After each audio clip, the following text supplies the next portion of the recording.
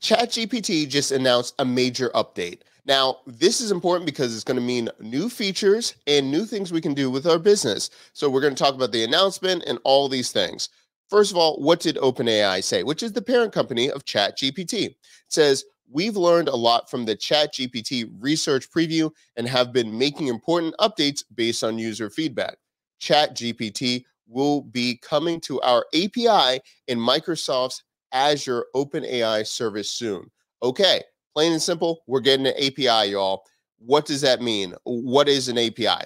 An API just allows two systems to talk to each other. Now, this is really important because just like how uh, OpenAI released DALL-E 2, uh, which allows you to create realistic images, once you have the API, you can do a lot of, uh, you can do whatever you want with the same kind of backend. For example, ThinkC uh, shout out to Mark Fletcher, created this platform where you can create your own um, stock photos, but it's built on the power of DALL-E, right? It's doing uh, it's doing API calls. It's just talking to another system for him to create his own product, and he has his own platform. He's making money because he's using the API uh, provided from OpenAI and and you know really DALL-E too.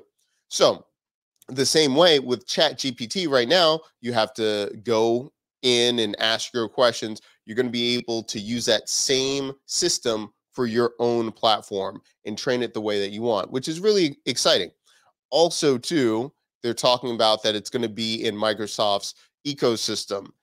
Now what that means we speculated because they're they're reportedly trying to buy about 49% of the company around that. So um, you know TBD on that, but that means that they're going to be using it too in their own ecosystem.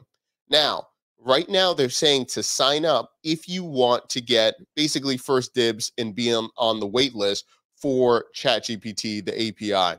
If you click the link from this uh, tweet, you can look at filling it out and you know they announced it uh, relatively uh, not too long ago so there's going to be a lot of people that are interested in this now what does this mean about your business and everything like that? Having an API now allows you to create a lot of different micro SaaS software as a service because you're going to have access to it.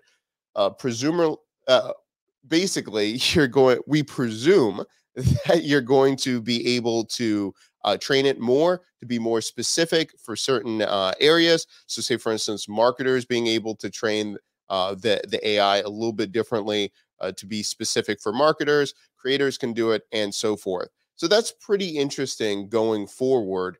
And again, being part of Microsoft and what they're doing, that's going to be crazy as well. So make sure to sign up and all those things. Now, uh, if you want to hear more about this and prompts and everything about AI, let me know in the comment section down below. All right, everybody. All right, I'll talk to you later. Goodbye. like and subscribe. Talk to you later. Bye bye.